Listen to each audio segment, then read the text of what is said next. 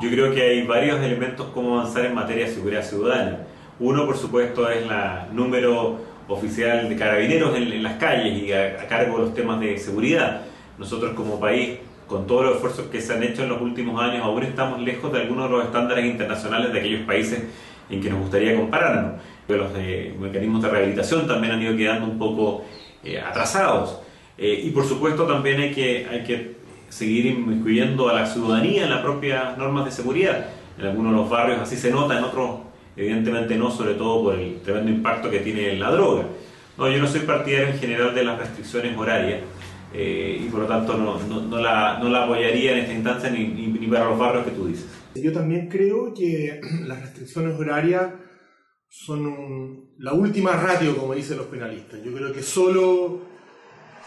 podría en determinado caso llegar a haber una necesidad cuando no hay ningún otro instrumento. Me parece que las restricciones horarias como políticas públicas eh, em, como que surgen así como la primera medida son pésimas. Em, déjame decirte que creo que en el barrio Suecia eh, se produjo un efecto por no saber tomar las medidas a tiempo. Creo que en su momento el barrio Suecia fue prácticamente abandonado y, eso terminó produciendo lo que produjo y dio un barrio fantasma que afortunadamente, según entiendo por el valor que tienen los inmuebles, va a haber una reconversión dentro de poco, pero creo que no tenía por qué las cosas terminar así. A ver, yo creo que son varios temas los que tú planteas. Primero, la educación sexual o en política sexual.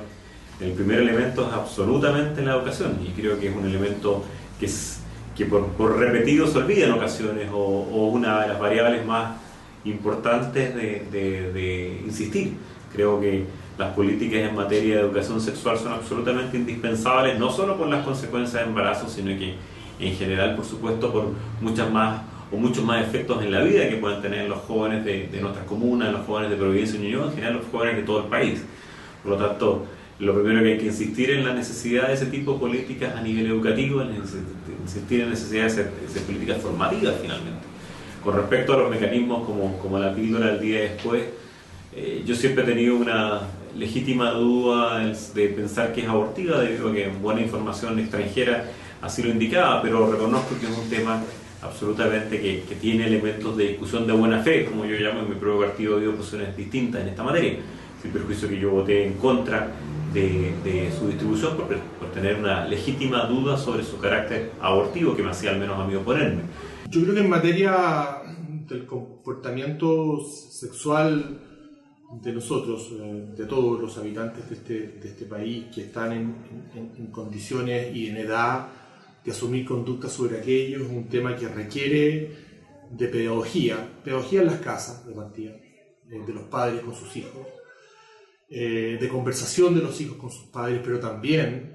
en sustitución de eso o en complementación de eso, que también como educando, tanto en los colegios de carácter fiscal, de, de, carácter subvencionado particulares, hayan esfuerzos de conversación de estos tipos y de educación de esta materia. Creo que hacerse el leso de eso, creer que hay sustitutos de cualquier naturaleza, legal o de naturaleza, a la inexistencia de diálogo sobre esto sería un grave error. Y creo que en eso hay un trecho enorme por avanzar y dejar avanzar. Lo que de repente eh, han habido, a mi juicio, inconsistencias a la hora de crear instrumentos, obviamente sólidos desde el punto de vista moral, de conversación sobre estos temas, y no nos podemos hacer leso de aquello. Yo creo que es esencial transmitir a, las personas eh, que la relación, la más íntima relación a que puede llegar un ser humano, que la relación sexual tiene que ver también con el amor, tiene que ver con con, con, con, la cercanía a las personas y no, no solo tiene la connotación de sexo por sexo. Yo, no, yo creo que, no sé si cuán políticamente correcto será decir esto, pero lo siento muy profundamente. Dicho eso,